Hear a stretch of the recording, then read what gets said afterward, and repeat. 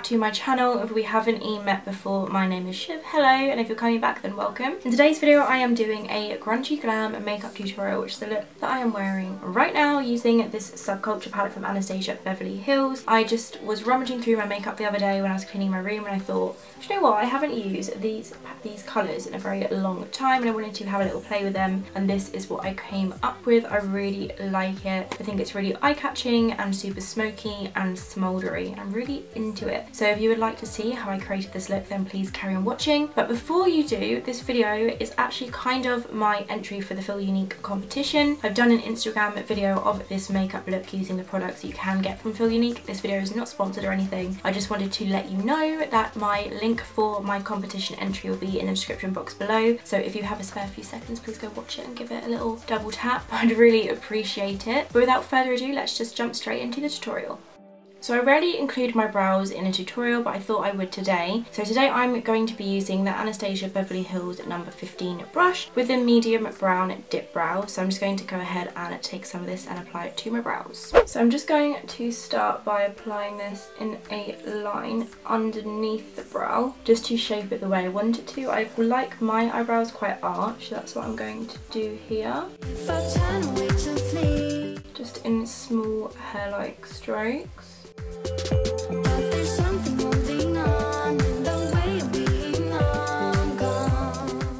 Then just bringing it around the tail of the brow in like a curvy motion.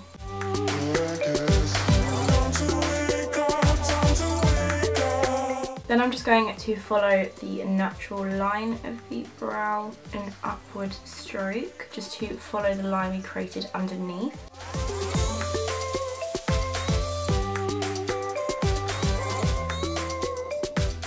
I'm going to go ahead and just fill in the brow, like the space that we don't have any product on.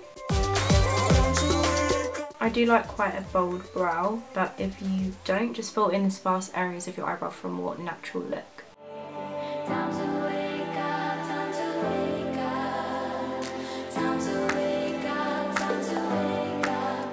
So next I'm going to carve out my brows and to do that I'm going to be taking the Maybelline Instant Anti-Age Eraser Concealer in the shade Light to Do So on a small lip brush. Any small synthetic brush will work. I'm just going to kind of like paint this across my eyelid. Also going to use it as my eyeshadow base and then I'm just going to take some onto the brush just by squeezing it kind of out of the sponge. And I'm going to use this to carve my brows and just make them look nice and neat.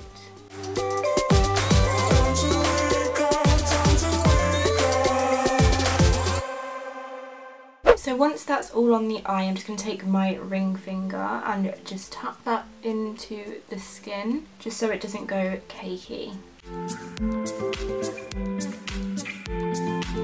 Once that's all patted into the skin, I'm just going to go ahead and set that into place. So I'm taking the Rimmel Stay Matte Pressed Powder, or what's left of it to do so. I'm just taking this flat brush from Spectrum Collections. Just going to pat that on top of the lid just to set the concealer in place. So the palette I'll be taking for this look is the Subculture palette from Anastasia Beverly Hills. I haven't used this in a long while and I was digging through my makeup the other day and I was like, I want to use something different and this is definitely like a different palette to a lot of the palettes I own. I'm going to use this colour called Adorn with maybe some green and maybe a bit of this electric shade, just a bit of everything and I'm feeling like a bit of a grunge kind of glam look today so that's what I'm going to go ahead and do. So the first shade that I'll be taking from this palette is the shade Dawn which is this one right here to the top left of the palette which is like the neutral transition colour. Just going to tap off the excess and then I'm going to blend this into the crease of the eye using windshield wiper motions just because when you apply the darker shadows later on it will really help to blend everything out.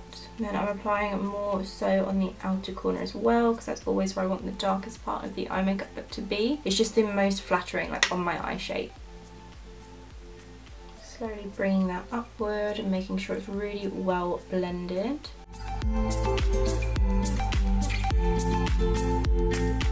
I'm also going to go ahead and take a little bit of that Dawn shade and apply it under my lower lash line as well, just to start the kind of like smokiness on the lower lash line. Just going to look up and run that under the lower lash line, again just in windshield wiper motions to make it nice and soft. Okay, so next I'm going to try something a little bit different to something that I've usually tried. So I'm going to go ahead and take this shade here, which is called Edge, which is like a mustard off yellow colour. So I'm going to go ahead and take this one right here. I'm taking this on a skinny blending brush. I'm going to apply it on the kind of first half of the inner corner, blending it out really softly. And then later I'm going to go into this new wave shade, which is like a dark, darker mustard orange kind of colour I'd describe it as. And I'm going to go ahead and apply it like on this half of the outer corner. So we'll see what this looks like. So I'm going to start with the colour Edge Just tapping off the excess quite a bit because I really don't want this to be too intense. Just going to start blending that into the inner section right here, just really softly.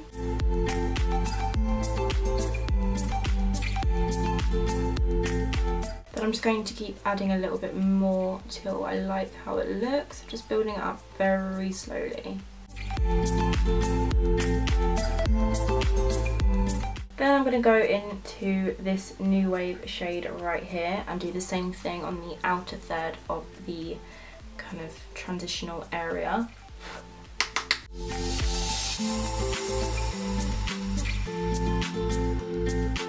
The very light hand, is slowly building it up.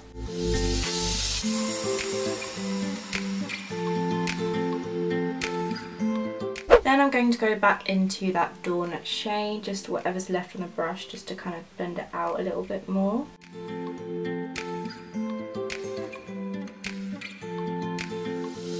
Then I'm going to start by darkening things up. So I'm taking the colour Fudge, which I know is like an Anastasia favourite. So I'm just taking this, which is a fudgy chocolatey brown, into the outer corner and then I'm going to start slowly bringing it inwards just to really smoke things out.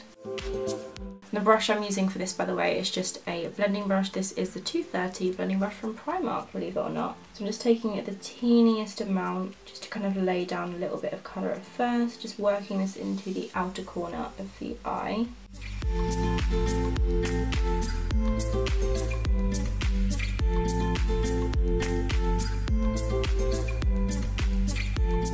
Going in with a teeny bit of that new wave shade again just to kind of help blend it out a little bit more.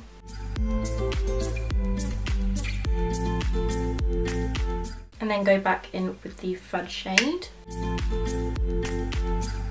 Okay, so now to smoke it up even more, I'm going to work a little bit on the lower lash line. So I'm taking that shade New Wave, which is like the mustardy orange shade, just because I don't think Edge will show up as much as I want it to.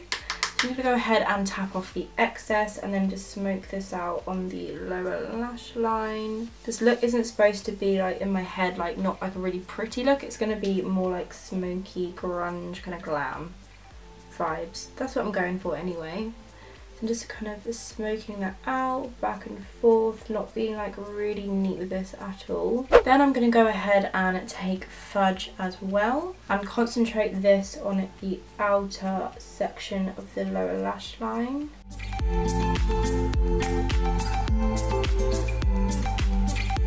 Definitely feel like a lower lash line can really make or break a look especially if it's really smoky. I just think it makes so much difference then I'll take the same brush that has a little bit of New Wave on it just to go over the top of it and make it look really smoky. Okay, I'm very happy with that. I think it looks very smoky. Okay, next, what are we going to do next? So next I'm taking this gorgeous bronzy golden brown gorgeous colour called Adorn from this palette. This is my favourite colour from the palette. I'm going to go ahead and apply some fixing spray to a flat shader brush to apply it. And then I'm going to go into the shadow Adorn, really working that onto the brush. This is one of those shadows that you really have to like push onto the bristles. Once you kind of figure out how to use the palette, like I actually think it's really good. So then I'm going to pack this onto the lid. Just look how gorgeous that is. It doesn't even need a base. It's so nice. Working that onto the lid. I'm not doing like a cut crease or anything like that. I just want it to be smoky.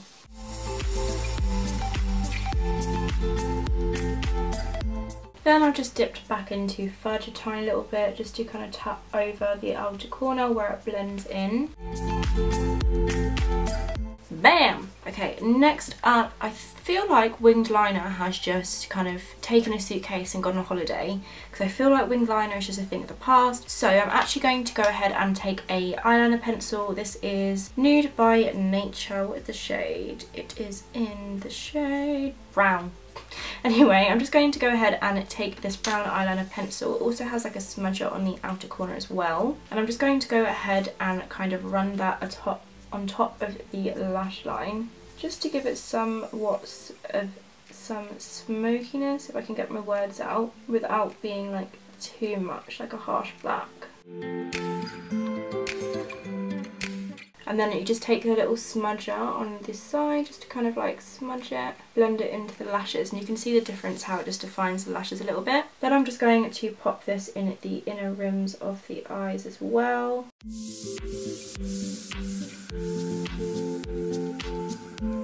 Next I'm just going to curl my lashes using this Primark eyelash curler. So I'm just going to pop this on close to the lash line, make sure it's not touching my skin and then give it a squeeze. So for mascara, I'll be taking the Maybelline Total Temptation mascara, which is actually one of my favourites. This is just in the shade Black. I feel like it adds a lot of volume to your lashes, so I'm going to go ahead and apply this mascara. I am going to pop falsies on, but I'm going to do that in a little bit once I've got the rest of my face makeup on. So now let's move on to my face. Okay, so for the face, I'm going to start off with the Primark Primer Water. This is just my favourite primer. I just feel like it makes my skin feel nice and refreshed. Um, and let's give it a good old shake. And then I'm just going to take this little hand mirror just to fan myself dry. Now I'm going to be taking my favourite foundation, which is the Maybelline 24 Hour Foundation. This is in the shade Ivory. I'm just going to be taking that on my Real Techniques Miracle Complexion Sponge. I'm just going to start by bouncing this all around the face just to blend it into the skin and adding the fullest coverage that I possibly can and then also blend it down the neck as well so we don't have like a sharp line even this is even though this is a paler foundation than I usually wear. So now I'm just going to cream contour using the shade from the Anastasia Beverly Hills Light Contour Kit. This is the shade Light Sculpt. I'm just going to take a teeny tiny bit of this because this contour kit is very intense, like really intense. So I'm just taking the tiniest amount on a flat foundation brush just to apply it and then I'm just going to be really light-handed. Apply that under my cheekbone, around my temples, Try to bring it quite close to the hairline as well so I don't have that weird gap. Then apply it around my hairline. This just helps to make the, I don't really know what it does, but it just makes your face look nicer. I don't really know how to explain it. Bronzing up the sides of my face. Then I'm going to take a teeny bit down the sides of my nose.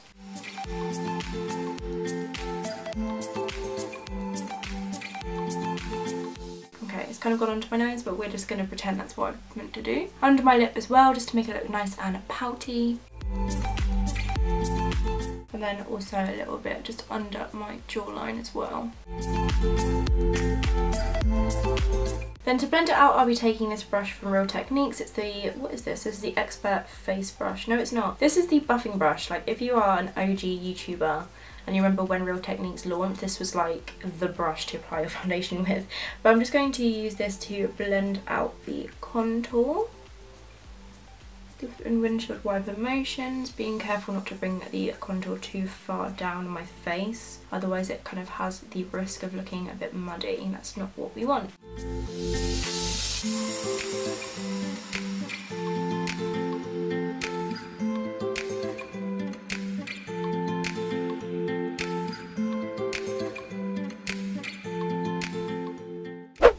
So now the contour is all blended out, I'm going to go ahead and apply my concealer. This is the Maybelline Instant Anti-Age Eraser Concealer. I used this earlier just to prime my lids. I'm just going to twist some up, apply some to the middle of my chin, above my lip, down at the side centre of my nose. In the middle of the brows and then in the middle of the forehead. And then of course under the eyes.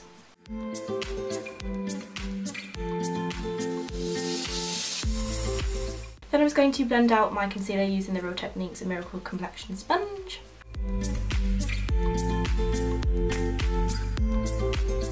Because this is quite a grungy look, I'm not too worried about the under eyes being really bright. I'm also just covering out like any kind of darkness, but I'm not too fussed if they're like not really highlighted um, because I'm smoking at this bit quite far down anyway.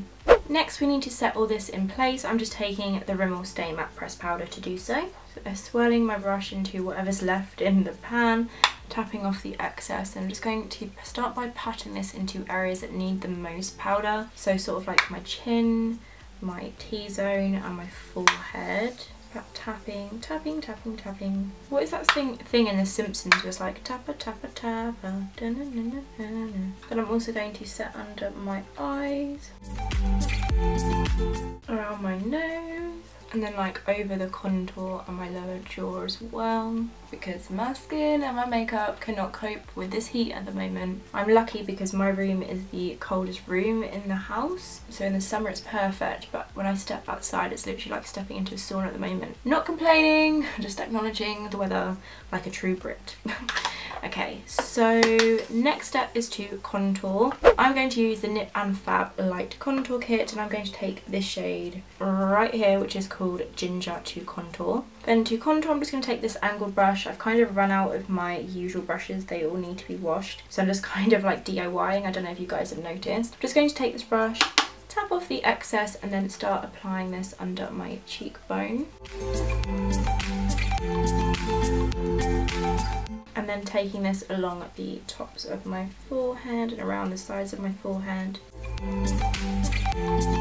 I've decided that I'm not going to bronze or put blush on, I just quite like the way my skin looks like this. Obviously I'm going to be applying highlight but first I need to set the skin. So to do that I'm taking the Revolution Pro Supreme Hold Finishing Spray. Just going to give it a good shake and spray this on.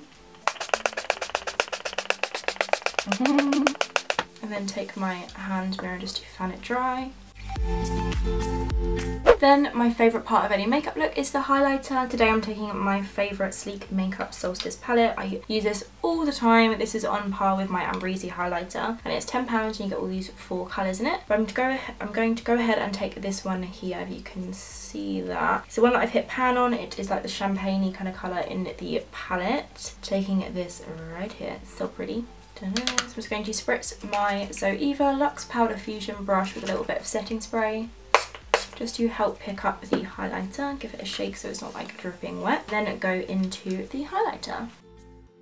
I want this highlighter to be so intense. Are you ready? I don't think you are. Here we go. Yes! Building it up until we are a glazed donut and then a little bit just above the brow. I just think it looks nice when you tilt your head like that. Then I'm going to take a little bit on the tip of my nose, down my nose, and then on the top of my lip. Then I'm going to take the brush that had the contour on it just to kind of lightly tap over it. This is just going to help blend it in. Now I want to apply a load of that to the inner corner, so I'm just going to take this random brush from Urban Decay and apply that to the inner corner of my eye. Just makes so much difference, it really opens up the eyes. Then I'm going to take a smaller, flatter brush to apply it to the brow bone as well. And then take the brush that had Dawn on it from earlier just to blend out the highlight on the brow bone so it's just not one sharp line. Now I'm going to apply some brow gel. This is the Anastasia Beverly Hills Clear Brow Gel. I'm just going to run this through the brows to set them in place.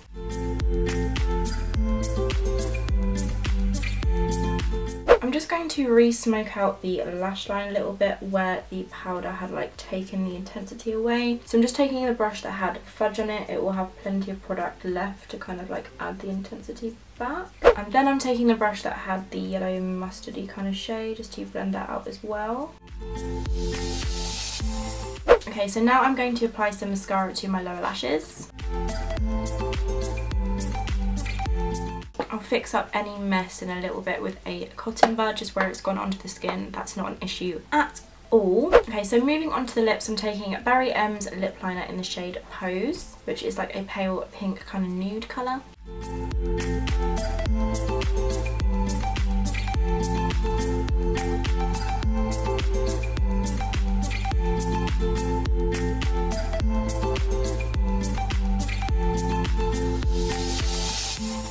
For lipstick, I'm taking the Rimmel London 43 lipstick. This is the one in collaboration with Kate Moss, I believe. Just taking this, it's a nice peachy pink nude, and these lipsticks smell amazing.